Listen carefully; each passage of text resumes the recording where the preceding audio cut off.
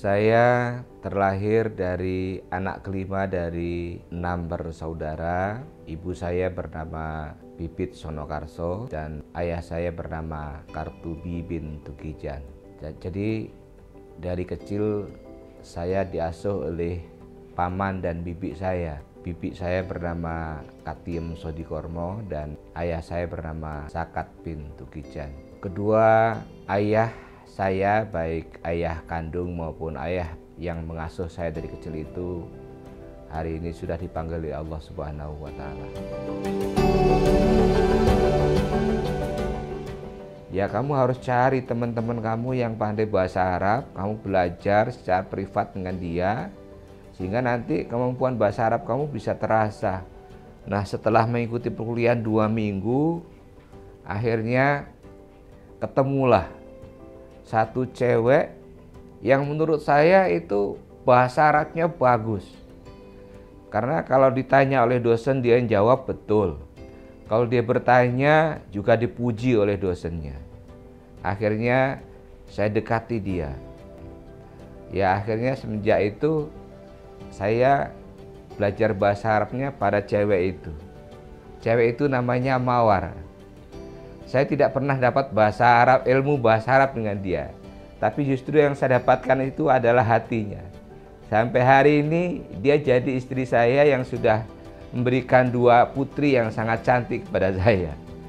Ya, walaupun nggak belajar, tidak berhasil belajar bahasa Arab, saya bela, bela, berhasil untuk mendapatkan hatinya.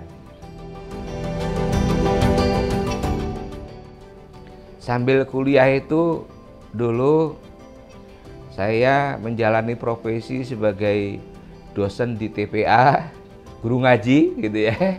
Kemudian juga eh, guru ngaji privat di beberapa keluarga di sekitaran Masjid Nur Salim di Jalan Gusti Hamzah.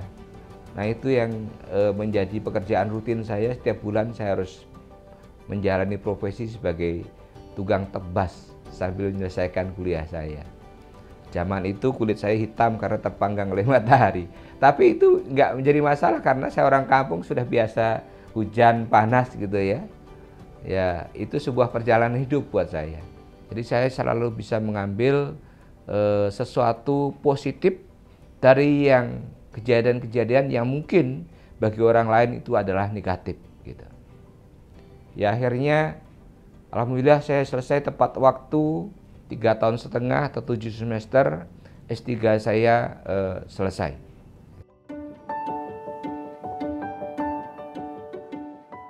saya mengikuti paman saya yang transmigrasi ke SP2 Kecamatan Mukok Kabupaten Sanggau Kalimantan Barat dan setelah sampai di daerah transmigrasi itu saya sempat tidak bersekolah selama satu tahun karena kebetulan di kampung itu belum ada sekolah eh, kuliah S1 di program studi pendidikan agama Islam di IAIN Pontianak jadi saya adalah alumni YIN Pontianak.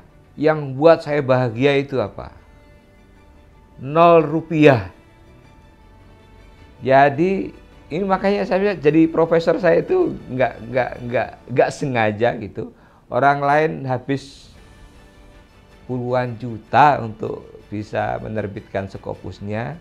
Saya satu-satunya artikel di Skopus dan nol rupiah. Kalau itu bukan karena takdir Allah, nggak bakalan terjadi. Kalau orang lain sekolah itu takut, bagi saya sekolah itu adalah bergembira. Jadi saya sangat senang menjalani seluruh proses perkuliahan saya, walaupun banyak dramanya. Profesor lah saya ini. Dan kayak mimpi buat saya itu. Buat mimpi, kayak mimpi memang. Karena saya itu bukan seorang dosen yang rajin ngurusin pangkat gitu. Tapi tiba-tiba bisa sampai di titik tertinggi jabatan profesi dosen yaitu profesor.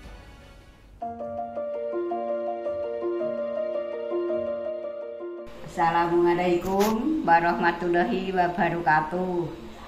Selamat atas gelar profesor untuk anakku Edi Gurnanto doa-doa nih ya muga-muga ya waras sehat Muga-muga ilmune sing manfaat kangge wong akeh. Muga-muga ya sukses. Ya aku isaku kendongane muga-muga ya waras sehat barokah asile muga-muga tinggi anu anake ya muga-muga ya manfaat kanggo anake sekolah butuhan. Assalamualaikum warahmatullahi wabarakatuh. Assalamualaikum warahmatullahi wabarakatuh. Saya Nada, saya Azka. Kami mengucapkan selamat atas pengukuhan guru besar ayah. Semoga ayah sehat dan sukses selalu dan semoga selalu diberkahi Allah. Terima kasih. Assalamualaikum warahmatullahi wabarakatuh. Bismillahirrahmanirrahim. Assalamualaikum warahmatullahi wabarakatuh. Selamat ya Mas atas pencapaiannya sebagai guru besar Semoga membawa kebaikan dan keberkahan dunia akhirat. Amin. Tidak mudah untuk sampai di titik ini, butuh perjuangan dan pengorbanan yang telah dilakukan. Keuletan, kesungguhan, kesabaran, dan doa yang tiada putus adalah jalan penghantar mencapai cita-cita ini. Pesan saya, jangan terlena dengan apa yang telah diraih, tetaplah istiqomah memberikan yang terbaik buat keluarga, alma mater kita IAIN Pontianak, agama, nusa dan bangsa. Tetaplah menjadi seorang abdi negara yang jujur, amanah, dan selalu menginspirasi banyak orang. Terima kasih. Assalamualaikum warahmatullahi wabarakatuh.